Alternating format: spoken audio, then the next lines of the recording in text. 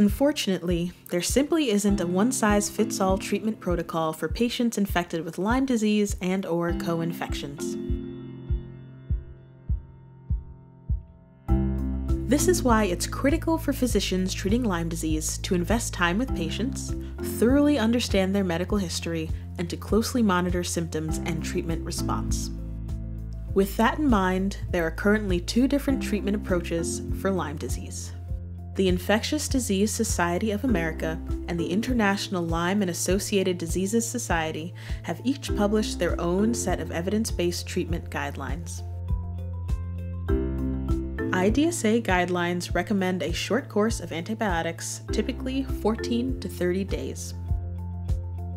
IDSA argues that the Borrelia burgdorferi bacteria does not persist in a patient beyond this time frame, and that lingering symptoms are the result of an ongoing immune response and not the result of an active infection. It also cites scientific evidence claiming treatments beyond 30 days are ineffective, unnecessary, and even dangerous. IDSA physicians will stop treatment after 30 days, even if symptoms remain. However, there is an additional 30 days of treatment recommended for patients with Lyme arthritis. On the contrary, ILADS offers its own scientific data to show that a longer course of antibiotics is required to eradicate the bacteria. ILADS recognizes that a month of treatment may be sufficient for patients in the acute stage of Lyme disease, but in cases where the spirochete has disseminated and the disease has advanced, a 30 day treatment regimen is inadequate. ILADS guidelines recommend additional antibiotics until a patient's symptoms have been resolved. Treating Lyme disease in its advanced stage can be complicated.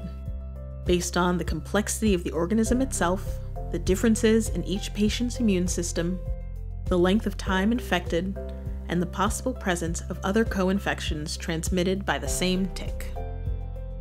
However, there are several choices in treating Lyme disease, which include oral, intravenous, and intramuscular antibiotic options. Other options may include sequential antibiotic therapy, higher doses of antibiotics, taking antibiotics for a longer period of time, a combination of antibiotics, retreatment, as well as diagnosing and treating co infections. Some specific antibiotics used in treating Lyme disease are doxycycline, minocycline, amoxicillin, cefuroxime, azithromycin, and clarithromycin.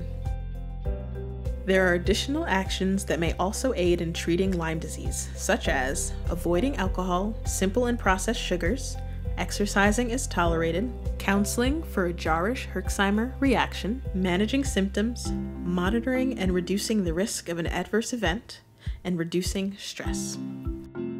However, there is a chance of side effects such as Clostridium difficile associated diarrhea. It is important to note the possible benefit of taking probiotics when treating Lyme disease. In one study, probiotic use significantly reduced the risk of developing CDAD by 60.5%. Other steps include measures of blood counts, chemistries, and liver function tests. In some cases, a specialist might be advised.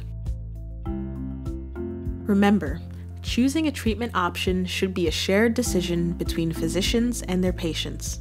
Also, there should be regular follow up visits to reassess a patient's response to treatment.